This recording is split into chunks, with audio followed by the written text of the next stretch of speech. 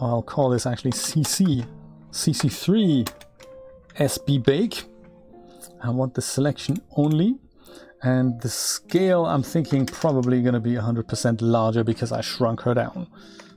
Let's go do this. And just have a quick nosy in the wrap and just see if this is actually showing up with textures. No worries. Thank you so much for dropping by, Steve. Chris, just so you know, I have bought you a coffee earlier. Uh, you, Steve, Brian, and Rod, because we're all sitting here together and we're thinking, hey, we should have coffee together. So if you find a coffee in your library, that is for me. Enjoy. It's like basically having you here with us having coffee. It's kind of cool. Load geometry. And I'm just going to load this and an image, I think. Load image. There we go that goes into here. The image is then, of course, what we've just exported from the baking. I'm so glad I've recorded this because, you know, now I remember. SB diffuse, check. That's that. Geometry. That'll be CC3 SB bake. And oh, there she is. And do you have maps? Do you? And they don't look awkward. No, they look great. Look at it. Oh, Brian, thank you so much for explaining that to me. That's really cool. And now I can kind of plow my way through making this work with all the other maps, including the eyes and all that. It's a little bit tricky to set up. If I had selected the other maps in the baking process, would it also have done that in one fair swoop, do you think? Like all of these things? Because that I think that that would be that would make this thing a seriously handy add-on to have. Chris, we're talking about simple bake. So under here, like, is it bake objects? No, that wasn't it. It was PBR bakes. If I were to select, we can actually just try it out and see what happens. So, um, in fact, let me go through the whole thing again, just, just so that I remember. If I go and select this and that, I can even select OpenGL or DirectX. That is very nice, depending on what I need. If I select these three and then go bake, would it go and do the bake on three maps? Oh, you know it. Oh, look at that. I hadn't known it, so very, very chuffed about this. Huh. Cool. Let me go through this whole part again of setting up Simple Bake and the maps, just so that I remember uh, what it what what it's like um, recent. There we go, test three on stream. So this is basically the starting project in which uh, all I have is the character that needs to be unified. And Blender takes a second to do things. It tells me that the file has been written in a newer version of Blender and it is correct, but I think it's it can just about work it out. So this character here uh, has applied maps under the shading tab on most of the outer surfaces with Node Wrangler. So we have the diffuse, we have the normal, and we also have a roughness. So that's all applied on the character and she's kind of looking good. But now, of course, comes the part in which we have to say, hey, we want all of these parts, all of these UV islands, not on separate UV spaces. We want them all on one UV map essentially. So for that we need to go uh, be a little bit creative. So the first thing I'll go and do under here, under the UV maps, is I'll set up a new map and I'll call it Simple Bake. And that's important, I guess, for the add-on to work properly. Is that correct, Brian? I think I've I've kind of I've kind of uh, understood this correctly. But you know, repetition is how we learn. So I think, you know, that's important. So new UV map, call it simple bake. And then we go and bring all these maps together. So A, and then we go, let's just average the island sizes here. And then we go and say pack islands. And let's say we're okay with that. Or make changes perhaps to the face. Face compared to the body isn't all that big, so I'm going to go and hover over that and hit L to select that island, go S and just stretch it out, make it a little bit larger, and then I'll go A twice, and then I'll go and pack the islands again. Chris, I've also invested into UV Packmaster 2 today, but uh, that didn't bring a great uh, improvement on this because the islands are large. So we're good here, we're good here. That's cool. Doesn't matter where I go, I can stay in here, I think, and head over down to the Simple Bake tab. And we want PBR bake, we don't want cycles bake, but I think we want this to be this up here. We want this to say cycles and GPU compute to make it a little bit faster, I think. Then we go and we don't do anything under settings, but bake objects, I think.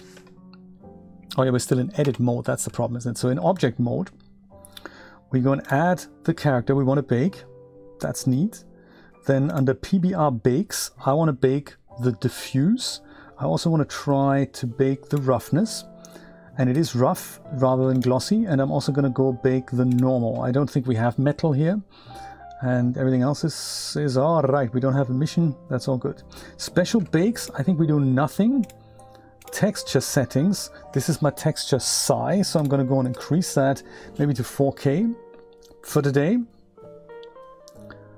Then we go and say export settings. We don't click these things because our file name isn't supported here, so that's fine. Otherwise it would create that an exportable mesh as well as exportable maps. We do that manually. We ignore that. UV settings.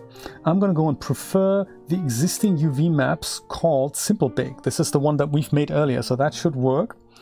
Restore originally active UV map. We can do that. Other settings. Um, what do we do here? We do nothing. I think. I think we do nothing. I think that's how it worked. And then channel, we also do nothing. We're, we're good. We're good. We're not doing anything there. We're just going to say bake and hope for the best. Let's see what happens. It appears to it appears that nothing's happening, but in fact, I'll I'll do get that little spinning cursor in a minute, which means the thing is working hard. I think background maybe executing this on a background thread, perhaps. I'm not entirely sure. But let's let, look let's look at this close up of a tongue texture while we wait for the thing to finish, because that's groovy.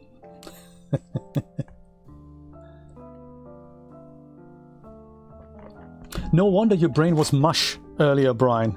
And no wonder you nearly skipped lunch. Make sure you, you catch up on dinner at some point. There we go, that's that. And it looks like it's finished, so that's cool. So all we need to do now is export our maps manually because my file name was kind of balked and the plugin didn't like that. The plus sign wasn't good. So I'll go up here and pick the three images that I need to export, namely this one here, the diffuse, the normal, and the roughness. And that's cool. I can just select one of them. That's that. And then I'll go and say image over here and save as. And it's actually the same thing that I've that I've had before. So I'll just go call it SB diffuse. So I'll just overwrite that. Now I go and select the next one, which is the normal. So once again, image, save as I'll call it, uh, what did I say, SB normal. Yes, yes, yes, and roughness, same thing. Save as SB rough.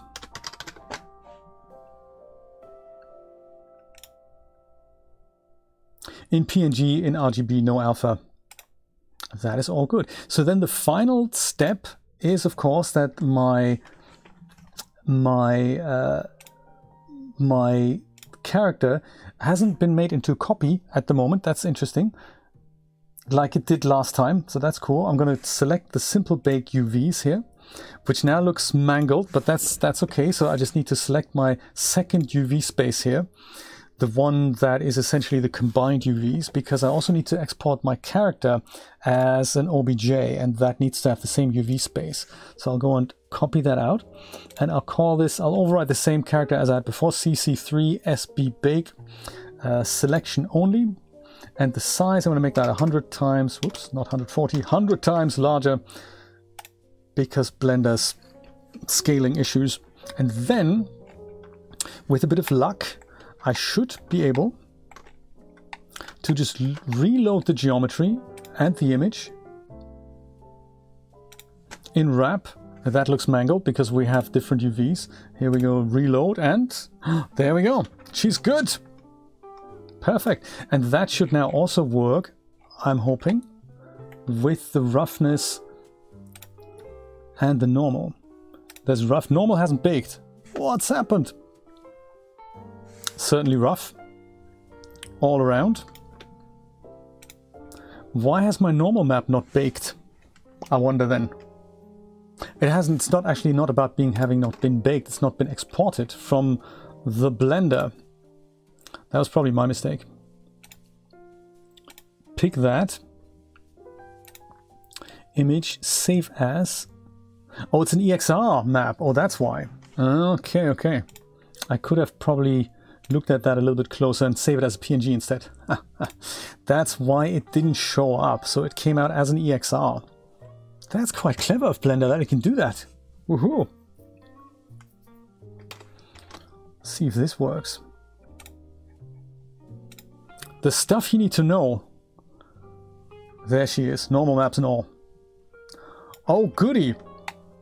Hey, thank you so much, Brian. I appreciate that. I think I can find my way around this now. And then transfer these textures over to Genesis texture. Woohoo! Awesome!